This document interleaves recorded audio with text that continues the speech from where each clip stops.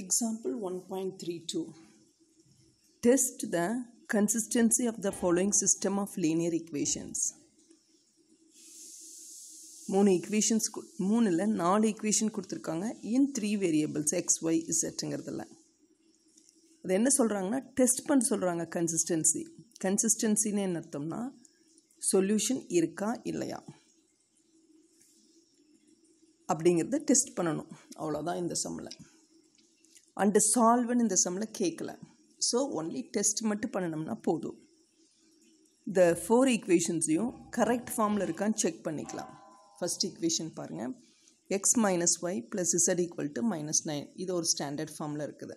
அதாவது எக்ஸு அடுத்தது ஒய் அடுத்தது இசட்டு ஈக்குவல் டு கான்ஸ்டன்ட் அதே மாதிரி அடுத்தது பாருங்கள் two X minus Y plus Z equal to four அடுத்ததும் ஸ்டாண்டர்ட் ஃபார்ம் தான். Three X minus Y plus Z equal to six அடுத்ததும் ஒரு ஸ்டாண்டர்ட் ஃபார்ம் தான். Four X minus Y plus two Z equal to seven இதுவும் ஒரு standard form தான். So இப்போ இந்த நாலு ஈக்குவேஷனையும் வச்சு நம்ம கன்சிஸ்டன்சியை டெஸ்ட் பண்ண போகிறோம்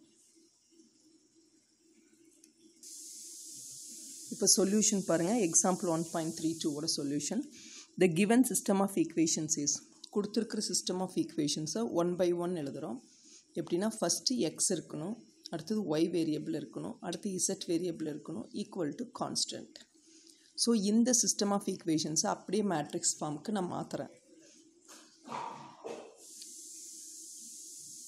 அப்போ என்னாகும்? இதனுடைய ஃபார்மு ஏஎக்ஸ் ஈக்குவல் டு பின்னு வரும். ஓகே ஸோ என்ன வரும்? ஏஎக்ஸ் ஈக்குவல் டு பிங்கிற ஃபார்முக்கு கிடைக்கும். எந்த form A X equal to B சரியா?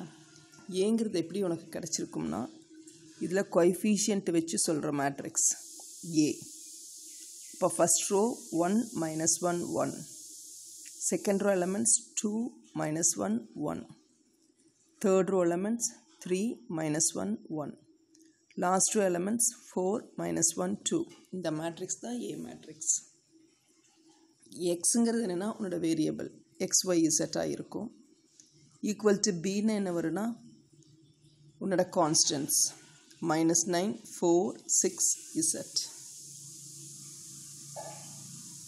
இப்போ நம்ம என்ன பண்ண போகிறோம்னா இதிலேருந்து அக்மெண்டட் மேட்ரிக்ஸ் என்னன்னு எழுதுகிறோம் ஓகே அக்மெண்டட் மேட்ரிக்ஸ்னு என்ன அர்த்தம்னா இங்கே இருக்கிற கொய்ஃபிஷியன் மேட்ரிக்ஸ்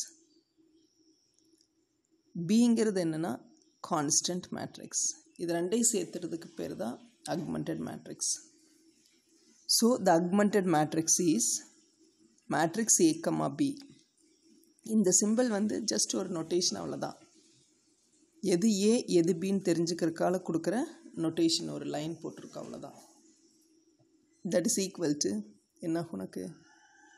ஏங்கிறது இங்கே இருக்கிற கோஎஃபிஷியன் மேட்ரிக்ஸ் அடுத்தது பிங்கிறது ரைட் சைடில் இருக்கிற கான்ஸ்டன்ட் இப்போ எழுதுறதுக்கு முன்னாடி எவ்வளோ வேரியபிள்ஸ் இருக்குதுன்னு பார்த்துக்கணும். எக்ஸ் ஒன்று ஒய் ஒன்று இசட் ஒன்று N sir number of unknowns எவ்வளோனா மூணு இருக்குது ஸோ அதை வச்சு தான் ரேங்க் செக் பண்ண போகிறோம் அதனால் அதை ஃபஸ்ட்டு நான் எழுதியிருக்கிறேன். இப்போது இந்த அக்மெண்டட் மேட்ரிக்ஸை நான் ரோ எக்கிலோன் ஃபார்முக்கு கொண்டு வரணும். அப்படின்னா இந்த மூணு எலமெண்ட்ஸு ஜீரோ ஆக்கணும். இந்த ரெண்டு எலமெண்ட்ஸு ஜீரோ ஆக்கணும். இது ஜீரோ ட்ரை பண்ணணும் இதுவும் ஜீரோ ட்ரை பண்ணணும். ஓகே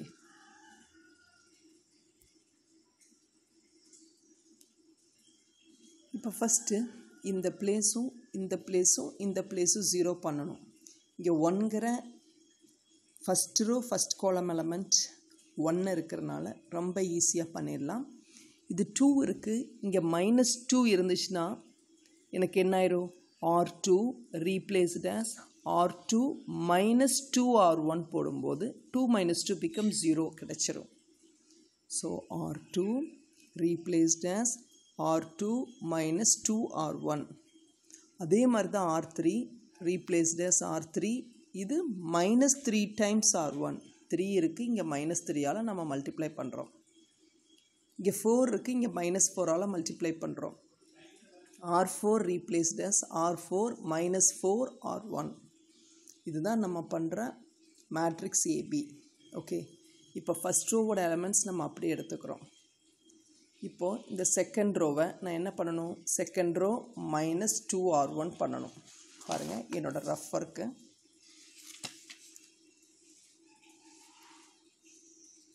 இதுதான் என்னோடய ரஃப் ஒர்க்கு இங்கே இருக்கிற மேட்ரிக்ஸ் பார்த்துக்கோ.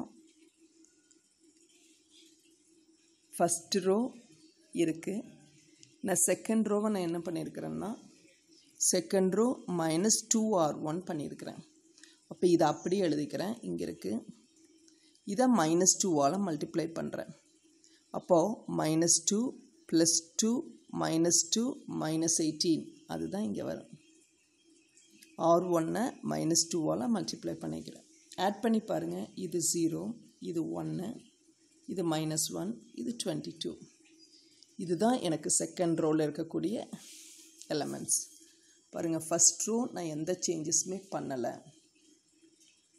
இப்போ நான் கண்டுபிடிச்சிருக்கிறது second row zero one minus one twenty two என்னோடய செகண்ட் ரோ அதே மாதிரி தேர்ட் ரோ என்ன ஆகுதுன்னு பாருங்கள் தேர்ட் ரோ நான் என்ன பண்ணியிருக்கிறேன்னா third row elements okay minus three times R one பண்ணியிருக்கிறேன் இதுதான் தேர்ட் ரோ எலமெண்ட்ஸ் இங்கே இருக்குது three minus one one six இதை மைனஸ் த்ரீயால் மல்டிப்ளை பண்ணும்போது minus three plus three minus three minus twenty seven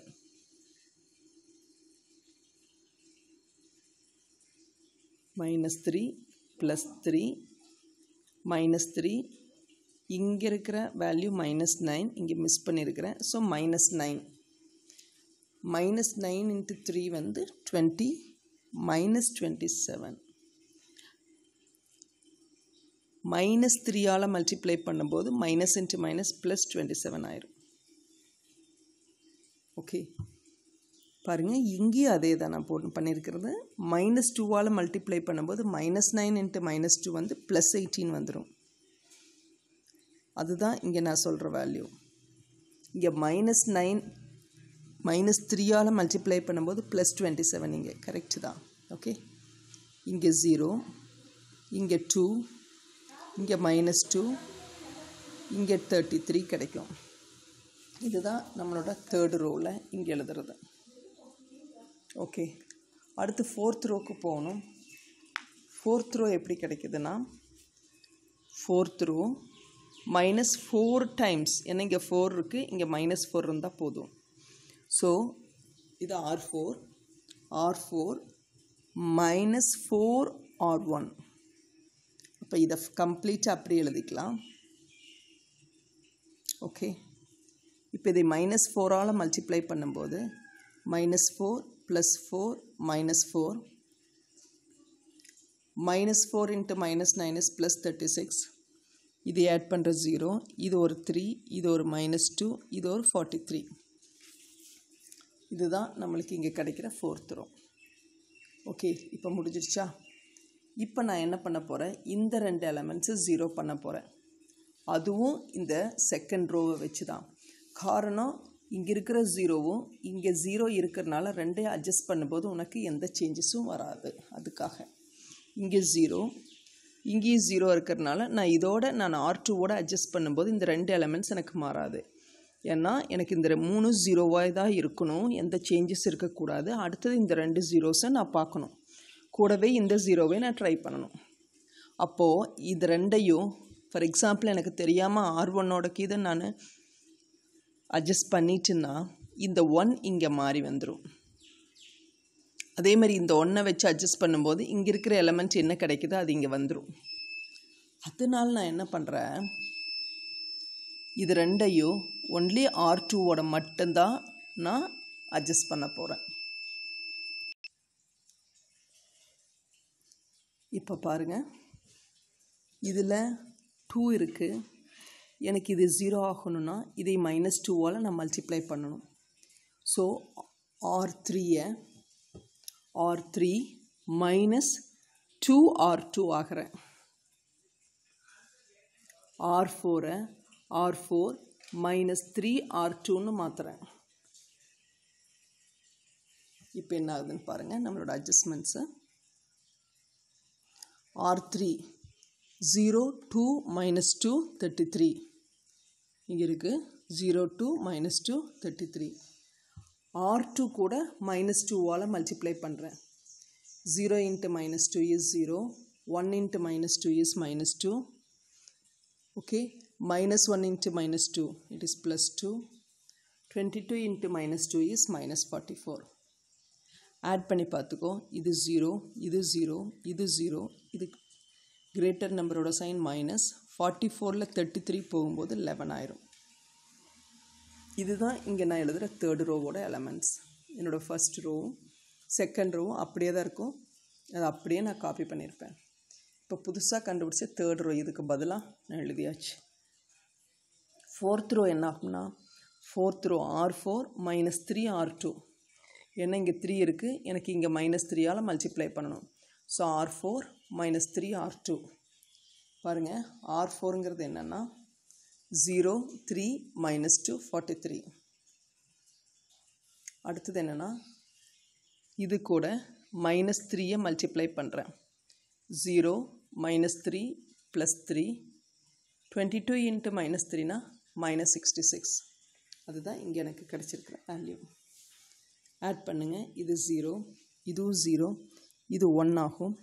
இது கிரேட்டர் நம்பரோட சைன் மைனஸ் சிக்ஸ்டி சிக்ஸில் ஃபார்ட்டி த்ரீ போயிடுச்சுன்னா சிக்ஸில் த்ரீ போயிடுச்சுன்னா த்ரீ சிக்ஸில் டூ போயிடுச்சுன்னா டூ. சிக்ஸில் ஃபோர் போயிடுச்சுன்னா டூ.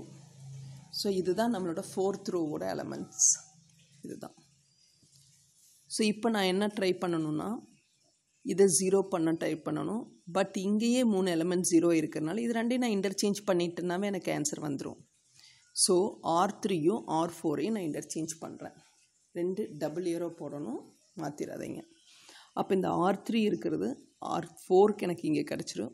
இந்த ஆர் ஃபோர் வந்து ஆர் த்ரீயாக இங்கே மாறிடும் இப்போ உனக்கு என்ன ஃபார்ம் கிடச்சிருச்சுன்னா row echelon form கிடச்சாச்சு. It is in row echelon form அடுத்தது number of non zero rows கண்டுபிடிக்கணும். இது ஏ மேட்ரிக்ஸ் இது பி மேட்ரிக்ஸ் இதுக்கு எவ்வளோ நான் ஜீரோ ரோஸ் ஜீரோ ரோஸ்னால் எல்லா எலமெண்ட்ஸும் ஜீரோவாக இருக்கிறது. எல்லா எலமெண்ட்ஸும் ஜீரோ இல்லைங்க. அதனால எல்லாமே நான் ஜீரோ ரோ தான். எவ்வளோ நான் ஜீரோ ரோ இருக்குன்னா ஃபோர் இருக்குது இப்போ ரேங்க் ஆஃப் எதுக்கு? ஏ பிக்கு சேர்த்து தான் நான் சொல்கிறேன் ரேங்க் ஆஃப் ஏபி எவ்வளோன்னா ஃபோர் அடுத்தது இதை இது வந்து பி மேட்ரிக்ஸ் ஏ மேட்ரிக்ஸ்னால் இதை மட்டும்தான் சொல்லுவோம். சரியா? அப்போது ஏ இஸ் ஈக்குவலன் டு இதை நான் அப்படியே கம்ப்ளீட்டாக நான் எழுதுகிறேன் இதில் எவ்வளோ நான் ஜீரோ ரூஸ் இருக்குதுன்னு பார்த்தீங்கன்னா கடைசியாக இருக்கிற ரோ வந்து எல்லா எலமெண்ட்ஸுமே ஜீரோவாக இருக்கிறனால இதுக்கு பேர் zero row so non zero ரோங்கிறது மற்ற ரோ மூணு ரோவுமே நான் ஜீரோ ரோ தான். So number of non zero rows equal to three இப்போ ரேங்க் ஆஃப் ஏ வந்து எதுக்கு ஈக்குவல் த்ரீக்கு ஈக்குவல் ஆனால் இங்கே ரெண்டு ரேங்க்கையும் பாருங்கள் ஒன்று ஃபோரு ஒன்று three so rank of A not equal to rank of AB so rank வந்து நாட் ஈக்குவலாக இருந்துச்சுன்னா இந்த சிஸ்டம் வந்து இன்கன்சிஸ்டண்ட்டாக இருக்கும். That means it has no solution இதுதான் நம்மளோட கன்க்ளூஷன் பாருங்கள் அது எப்படி கன் conclusion முடிக்கணும்னா therefore the given system of equations is inconsistent கன்சிஸ்டன்ட்னா solution will எக்ஸிஸ்ட்னு அர்த்தம். இன்கன்சிஸ்டன்ட்னா நோ சொல்யூஷன் அர்த்தம். And has no solution